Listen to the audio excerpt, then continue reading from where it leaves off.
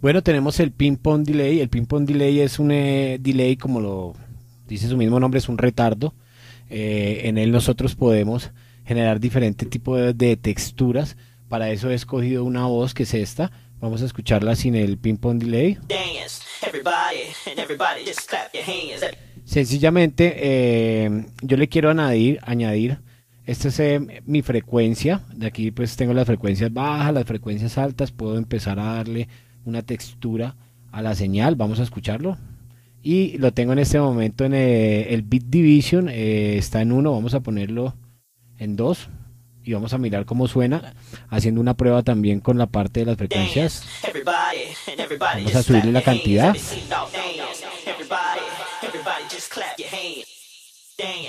Ahí el delay que estoy haciendo de las frecuencias altas, frecuencias medias, se escucha más, frecuencias bajas.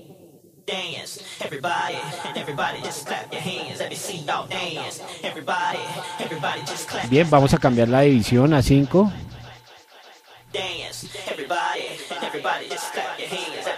A 6.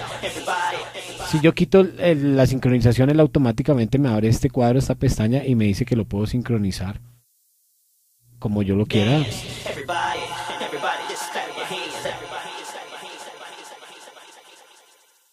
Va cerrándose.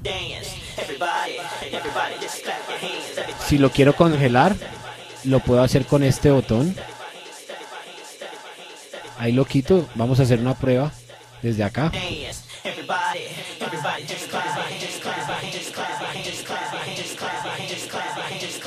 Ustedes se dan cuenta ahí congelado. Es muy interesante para hacer efectos. Ahí cae porque le quito la congelación. Es una muy buena herramienta a la hora de estar produciendo. Vamos a escuchar algo. Vamos a poner todos los canales. Y vamos a trabajar el drive web desde este punto.